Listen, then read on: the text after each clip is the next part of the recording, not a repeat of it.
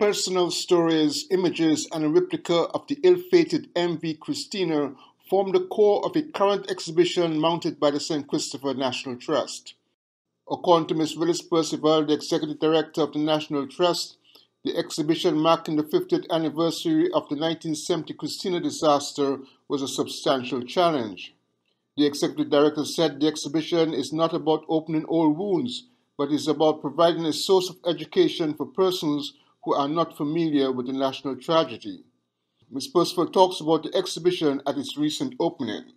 And one of the things we try to do is give you a replica, provide a replica of what the boat looked like. I hope that we, we um, achieve that very much. We will also, you will also be able to read the names of the 232 or 33 persons who perished on that day, this day, 50 years ago. I want to thank a lot of people because it wasn't possible without some people. And key is my researchers because if we don't do the research, if we don't present the accurate information, then you won't, we won't be telling the story correctly.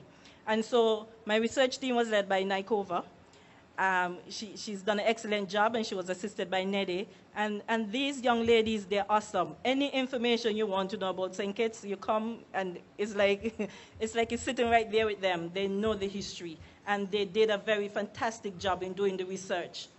But it wasn't possible without the documentary information that we found in um, Dr. Whitman Browne's books. He has indicated to me that he's published a fourth book, and hopefully we can negotiate with him to have that book in our gift shop when it's available. But his, his three books that he published provided us with immense amount of information, and he generously allowed us to use the data to present as part of this exhibition. Percival said the exhibition cost the trust $22,000 to mount. Glenn Bart, SKN Newsline.